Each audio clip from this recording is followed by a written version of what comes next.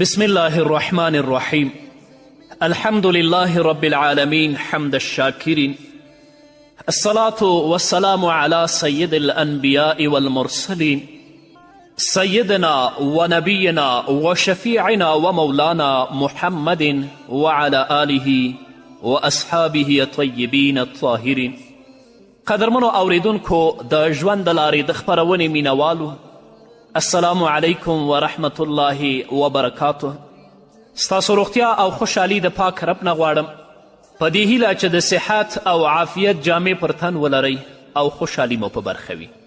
دا دی زه محمد یاسین فهیم د ژوند د لارې د خپرونې په وړاندې کولو کې ستاسو په خدمت کې یم زموږ د نن ورځې د خپرونې موضوع بیا هم له ګناهونو څخه د خلاصون لارې درنو اوریدونکو د ځینې شرایطو او سببونو په بنسټ د یو انسان واړه ګناهونه په لویو ګناهونو باندې تبدیلیږي چې امام غزالی رحمه الله په احیاء العلوم کې د هغې شپږ سببونه او شپږ علتونه بیان کړي چې زه به د هغو وړاندیز تاسو ته بیان کړم اول پر ګناه باندې همیشه والی حضرت عبدالله ابن عباس رضی الله تعالی عنهما فرمای لا صغیرة مع اصرار ولا کبیرة مع استغفار وړه ګناه سره له همېشه والي وړه نه پاتې کېږي بلکه لویه ګرځي او لویه ګناه له بښنې غوښتلو سره لویه نه پاتې کېږي بلکه بښل کېږي نو که یو مسلمان ورور یا یوه مسلمانه خور په وړو ګناهونو باندې اصرار او همیشهوالی کوي هغه دې په دې پوه شي چې د دې صغیره او وړه ګناه وړه نه پاتې کیږي بلکې دا کبیره ګرځي او که یو څوک مرتکب د کبیره ګناه او د لویې ګناه ګرځي سمدستي په خپلې ګناه باندې پښیمانه شي د تزرو او د عاجزي لاسونه خپل رب ته پورته کړي د رب العزت نه بخښنه وغواړي او دا تصمیم ونیسي چې زه به بیا دا ګناه نه کوم دا ګناه کبیره نه پاتې کیږي الله یې ورته بخي دویم ګناه سپک ګڼل کله چې یو بنده صغیره ګناه سپکه او آسانه وګڼي نو دا ګناه بیا د الله رب العزت په نزد باندې لویه شي او چې کله ورته وړه ګناه لویه ښکاره شي نو د الله رب العزت په نزد هغه وړه ګرځي ځکه ګناه ته په درنه سترګه کتلو او د هغې په بد ګڼلو سره د بنده زړه له ګناه څخه نفرت کوي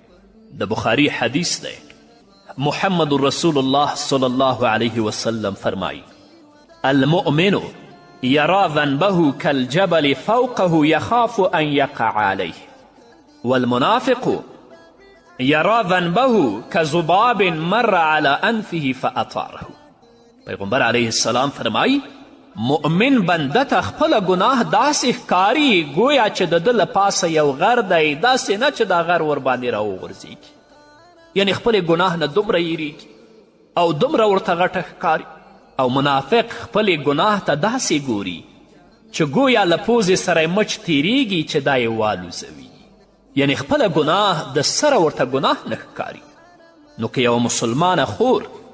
یا یو مسلمان ورور د صغیره او د وړې ګناه مرتکب کیږي او کومه ګناه چې دې کړې ده هغه ورته سپکه او آسانه ښکاري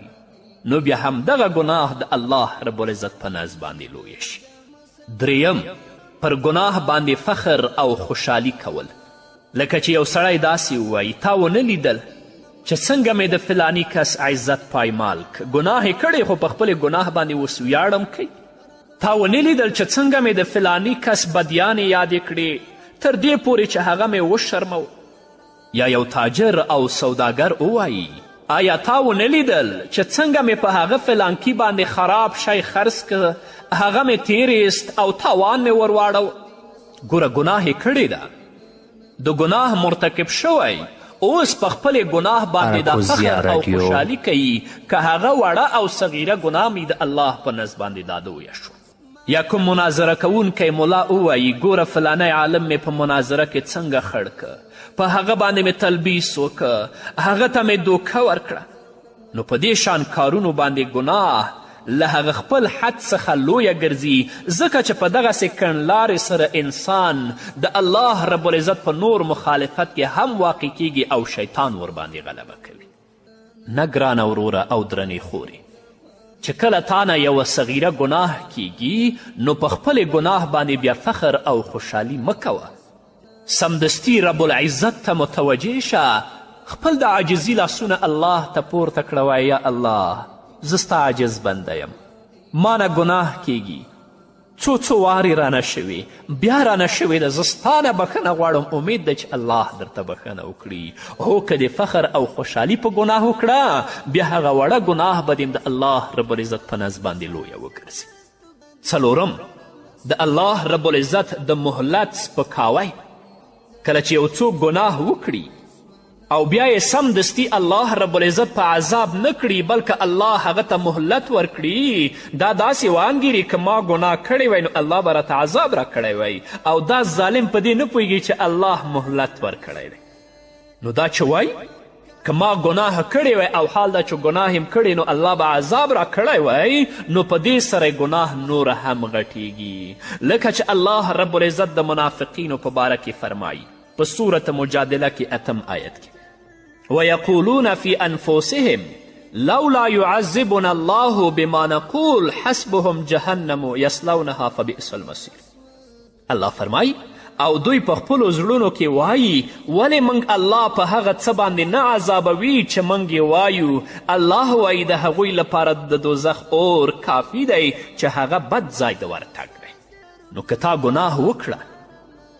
د ګناه مرتکب شوې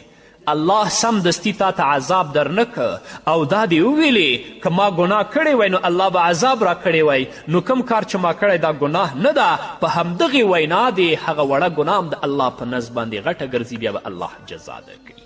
پنځم د پټې ګناه ډاګیزه کول او د پټې ګناه ښکاره کول یو څوک چې ګناه وکړي بیا الله رب العزت د هغه په ګناه باندې پرده واچوي خدای په خپله خلکو ته ځان ښکاره کړي او دا ووایي چې بېګا شپه خو ما دا ګناه وکړه پرون د ورځې مې دا ګناه وکړه نو د ده په دې وینا باندې هغه ګناه هم لویه او غټه ګرځي د بخاري او د مسلم حدیث دی نبی کریم صلی الله علیه وسلم فرمایی کل امتی معاف الا المجاهرین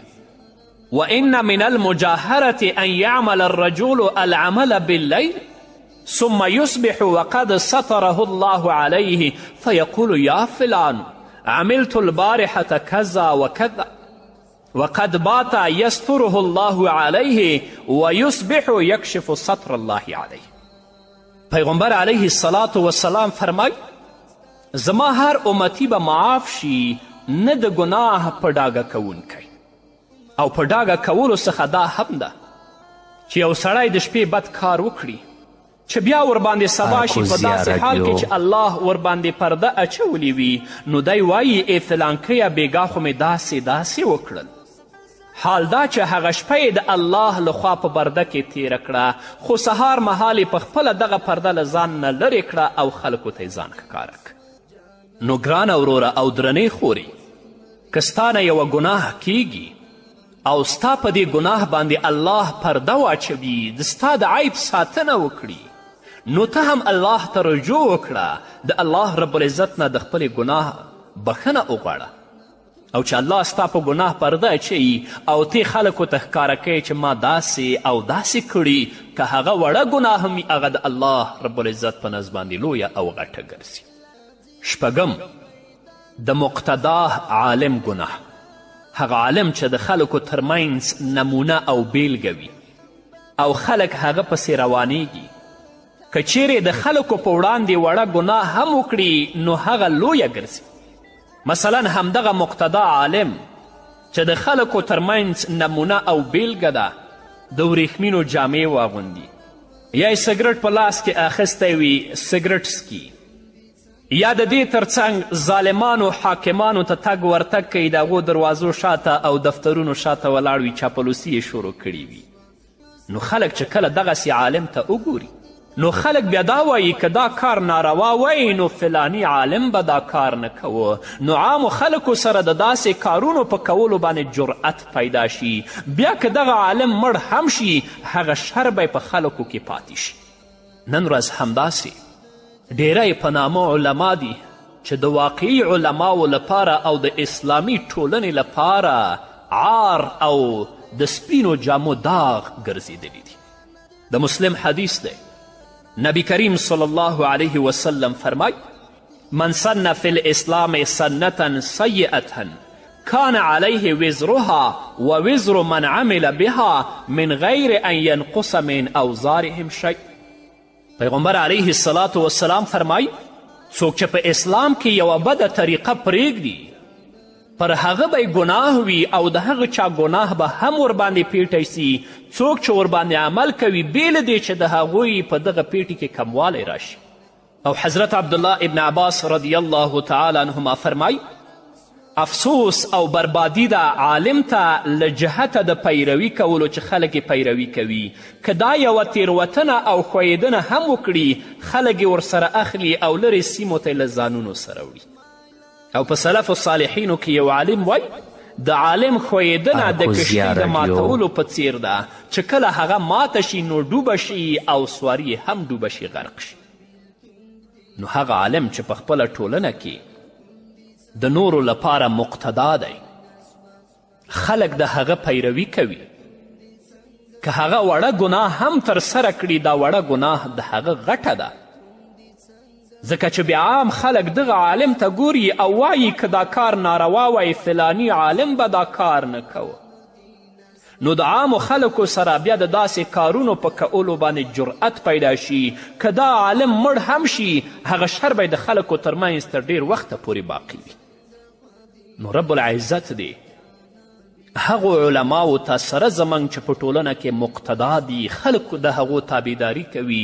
د وړو او د لویو ګناهونو نه وساتي تر څو چې زموږ دا وړه ګناه د رب العزت په نزد باندې غټه ونه ګرځي په همدې هیله درنو اوریدونکو نور به واورو خو د یوې دمې نه وروسته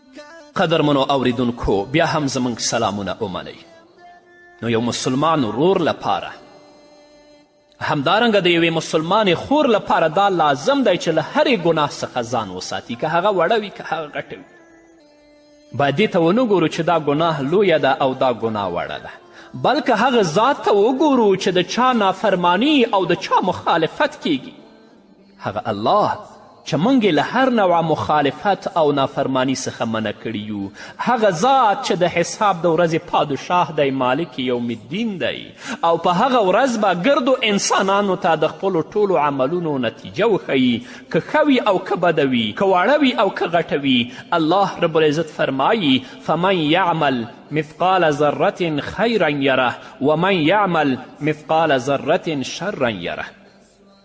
په څوک چې د ذرې په اندازه ښه کار وکړي نو بدله به یې وګوري او څوک چې د ذرې په اندازه بد کار وکړي نو سزا به یې وګوري نو ګرانو ورونو او درنو خویندو دې ته مه ګورئ چې دا ګناه لویه ده او دا ګناه وړه ده بلکه هغه ذات ته وګورئ چې په خپلې ګناه سره تاسو د هغه ذات نافرمانی او مخالفت کوئ او حال دا چې الله رب العزت موږ د هر نوع مخالفت او نافرمانی څخه منع کړي یو هغه ذات چې د حساب د ورځې پادشاه دی هغه به دې د خپل په حضور کې ودروي او رب العزت به درنه پوښتنه کوي بیا به هغه ته څه ځواب وایې د انسان نفس ته د شیطان د ننوتلو له لارو څخه یوه لاره دا هم ده چې مسلمان ته ووایي ورځه دغه کار چې ته یې غواړي وړه ګناه ده او څه باک نه کوي تر دې چې په هغې ګناه کې دا ظالم شیطان هغه واقع کړي نو د ګناهونو په کم او آسان ګڼلو سره ډیر خلک پکې اخته شو او ډیرو د الله رب العزت له حدودو څخه تجاوز وکړ عاقل او هوښیار مسلمان هغه دی چې له ټولو ګناهونو څخه ځان وساتي که هغه واړه وي او یا لوی ځکه چې وړه ګناه لوی ګناه ته وړل کوي او د یو چا چې واړه ګناهونه جمع شي نو بیا یې له تباهي سره مخ کړي امام احمد رحمه الله په خپل مسند کې د نبی کریم صلی الله علیه وسلم یو حدیث را نقل کړی دی رسول الله صلی الله علیه وسلم فرمای تاسې له وړو ګناهونو څخه ځانونه وساتئ یاکم و محقرات الذنوب تاسې له وړو ګناهونو څخه ځانونه وساتئ بېشکه دغسې ګناهونه به یو سړي ته جمع کیږي او ډیریږي تر څو چې تباه کړي د دې لپاره محمد رسول الله صلی الله علیه وسلم داسې مثال بیان کړی چې یو څه مسافر خلک دشتې او بیدیا ته راشي او د خوراک وخت حاضر شي نو یو سړی ولاړ شي یو لرګی راوړي بل هم لاړ شي یو خس او یا لرګی راوړي همداسې نور همدغسې وکړي یعنې نور مرګي هم لاړ شي ځان سره یو یو لرګی راوړي چې په دې طریقې سره دغه خلک یوه لویه ډیرۍ د خسو جوړه کړي بیا ورته اور ولګوي او هغه څه چې پکې اچولي وي له خوراکي شیانو څخه هغه پاخه شي یو لرګی یو کس راوړ په هغه خو اور نه بلیده یا دویم کس یو لرګی راوړ په هغه خو اور نه بلیده او هغه څه چې دوی پخول هغه خو پې نه پخیدل خو د ټولو مرګرو نه که یو یو کس اوچت شي یو یو لرګی راټول شي د هغې نه د خسو ډیرۍ جوړیږي او هغه څه چې دوی غواړي پرې پاخه یې کړي هغه پاخه کیږي نو که تا یوه ګناه وکړه باک دې پې ونه کړه الله ته دې رجوع ونه کړه ورپسې دې بله بل ګناه وکړه الله ته دې رجوع ونه کړه ورپسې دې بله ګناه وکړه نو ستا دا واړه ګناهونه چې تا کړي او په دې باندې دې همیشهوالی او اصرار کړی دا بیا غټه ګرځي او د چا چې واړه ګناهونه جمع شي بیا له تباهي سره مخ کوي نو یا الله موږ د ګناهونو نه وساته او هغه ګناهونه چې زموږ په ژوند کې زموږ نه ترسره شوي یا الله موږ ته د توبې توفیق راکړه چې تا طرف ته رجوع وکړو او د خپلو ګناهونو بخښنه درنه وغواړو او په آینده ژوند کې موږ ته د ګناه کولو توفیق مه راکوه نو ګرانو ورونو او درنو خویندو راځئ چې له هر نوع ګناه څخه ځانونه وساتو او کومه ګناه چې زموږ څخه کیږي فورا ورڅخه توبه وباسو تر څو له ګناه څخه پاک شو زړونه مو صفا شي او د زړه له زنګونو څخه وژغورل شو په یو حدیث کې راځي محمد رسول الله فرمای کله چې بنده کومه ګناه وکړي نو د هغه په زړه کې یو تور داغ پیدا شي نو که دا انسان دا ګناه پریږدي توبه ورڅخه وباسي د الله رب العزت نه بخښنه وغواړي زړه به الله ورته پاک او صفا کړي او که چیرته د دې ګناه نه توبه ونه باسي بله ګناه د دې ترڅنګ بله ګناه وکړي نو د ده په زړه کې به هغه تور داغونه ډیر شي تر دې چې پر زړه یې پورته یعنې غالب او راګیرونکي شي او دا هغه زنګ دی چې الله په سورة مطففین کې څوارلسم آیت کې بیان کړی الله فرمایي کلا بل ران علی قلوبهم ما کانو یکسبون داسې نه ده چې هغوی یعنې کافران یې نه مني بلکه د هغوی په زړونو باندې زنګ دی له وجې د هغو ګناهونو څخه چې دوی یې کوي نو بیا هم درته وایم درنو اوریدونکو تاسې د ګناه وړوکوالي ته مه ګورئ چې دا ګناه صغیره ده بلکه تاسې هغه ذات ته وګورئ او د هغه ذات لویوالي ته وګورئ چې تاسو د هغه نافرمانی کوئ د هغه د حکم نه سرغړونه کوئ که تا ګناهونه پرېښودل الله دی یاد که رب العزت طرف ته متوجه شوې الله رب العزت به ستا په ژوند کې تا ته د زړه سکون او اطمینان در په برخه کړي او که خدای مکړه تا په خپلو ګناهونو باندې د اصرار کوه الله طرف ته تا رجوع نه کوله نن یوه ګناه د دې پر ځای چې د دې نه توبه وباسې سبا ورپسې بله بله ورځ ورپسې بله نو په ژوند کې به اطمینان او سکون نه لرې، همېش به نارامه او سرګردانه ګرځې، ځکه ستا په زړه باندې تور داغونه لګېدلي او هغو تورو داغونو ستا په زړه باندې غلبه کړې، نه به حق واورې، نه به حق درک کړې او نه به حق طرف ته رجوع وکړې، همېشه به غمجن او سرګردانه وې او ژوند به دې د مصیبتونو او د تکالیفو نه ډک وي. د الله رب العزت نه ځان ته بیا د نړۍ ټولو مسلمانانو ورونو او خویندو ته د نیکو اعمالو د توفیق غوښتونکی یم. په همدې هیله درنو اوریدونکو دا وه زموږ د نن ورځې خپرونه چې ستاسو درانه حضور ته وړاندې شوه. تر بلې خپرونې پورې چې زه بیا هم ستاسو درانه حضور ته راځم تاسو ټول په لوی او بښونکي الله سپارم. پاتې ژوند مو نیکمرغه، ښاد، بریالي او کامیاب.